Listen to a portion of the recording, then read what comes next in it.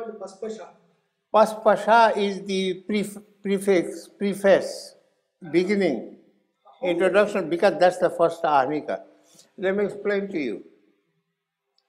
The Mahabhashya is called Mahabhashya because it's not simply the Bhashya, it is the great Bhashya. So when you talk about Bhashya, you talk about Mahabhashya. Paspashahanika, Ahnika.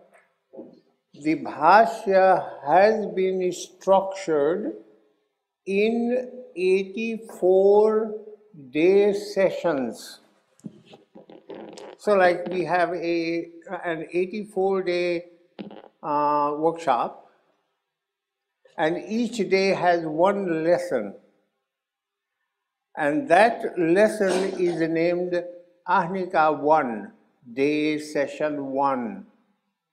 Ahna, Ahna is day. Ah- Ahnika is that which happens in a day. So, the first day session, the second day, the first, second, third, fourth, fifth, sixth, eighth, eighty-fourth. Paspashahnika. Spash. See, you were asking about the meaning of Paspashahnika. Spash bandhan sparshayo.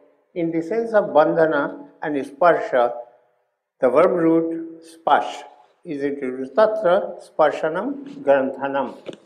Tying up. Granthanam could also mean bunching up the ideas together. So it doesn't have to be with a needle and thread, etc., etc. With your mind, you can pull out the ideas, put them together. That could be some kind of abstract text, but that would be Granthanam. That is where you get the idea of Grantha. Yeah. तस्मात यंग लोग की कर्तरी पचार दिया छे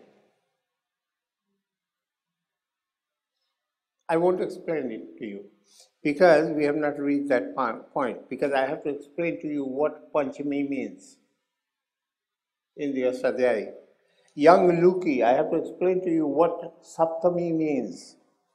Kartari, Pachadi, Ach. Pachadi, Ach. Ach of the Pachadi is a special kind of Ach. Paspasha, it is the preface. व्याख्रियन्ते व्युत्पाद्यन्ते शब्दानेन इति शब्दज्ञानजनकम् So see, this is such a vast field. What is the purpose of Vyakarana? the purpose of Vyakarana is to serve as Shabda Jnana Janakam. It has to generate the understanding of words. So Vyakaranam, that has to be one halanta which I missed. That which generates that which generates understanding of word is, and let's move on. Can we move forward? Tacha Sutram, that which and that. That which generates understanding of words is Sutram, Tacha Sutram, and that is the body of Sutra. So, what is the body of Sutra? Uh, it, it calls it Vyakaranasya Shariram. So, what is the vyak- Sharira of Vyakarana? That means what are the limbs of the Vyakarana? Hands, feet, etc., etc. What constitutes, what formulates Vyakarana? वृत्तौ भाष्ये तथा नाम धातु पारायणादिषु So Dhatu Parayana, this is the total body of the Astadhyayi. Okay.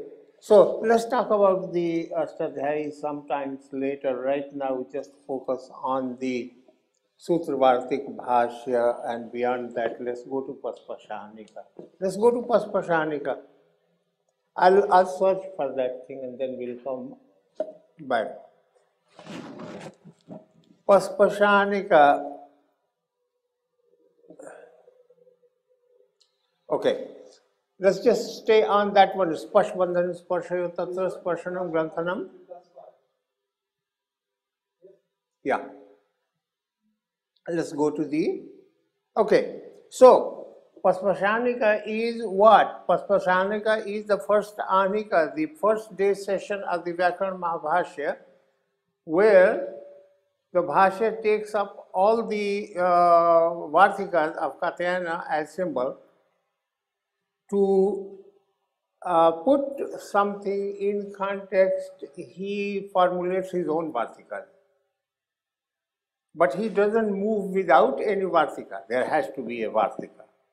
Whether it is Patanjali's own Vartika or generally uh, Katyayana's Vartika. And so the total number of day sessions which he has, you will get your Atha. So, he presents the entire discussion of the Ashtadhyayi rules, those which Katyayana has offered Vartikas on. 4,200 something something there are Vartikas. There are 3,986 sutras, give and take 14 Shiv sutras. But the Bhashya, is this just the 4,200 uh, Vartikas that the Katyayana wrote? No.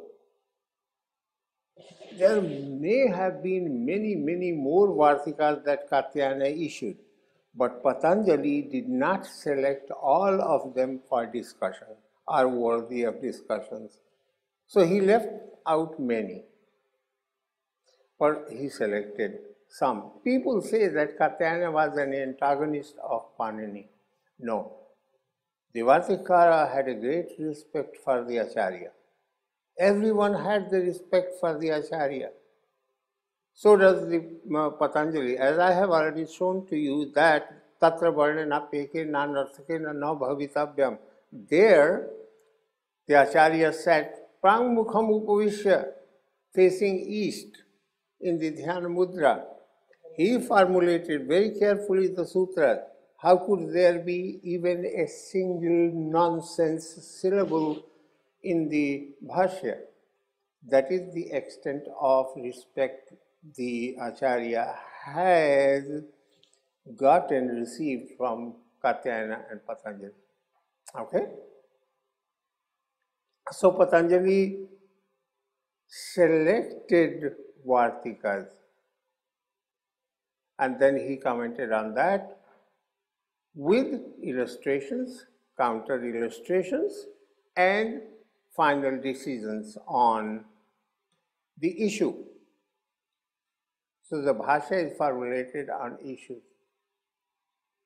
Remember the Shastrarthas?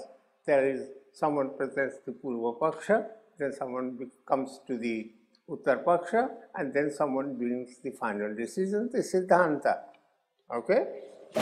So, Paspashanika is, I would say, the brain of the Bhashya. All the issues of substance that Patanjali could think of have been raised in the Paspashanika at the beginning. And that's what we are going to study. So, Atha Shabdanusasanam. Here begins the Anushasana of word. What kind of a compound is Shabdanusasana? Shabdanam Anusasanam, Shabdanusasanam. Instruction of, instruction about words. Those words are words in usage. Okay? Words in usage which form the focus of analysis of the sutras of Panini.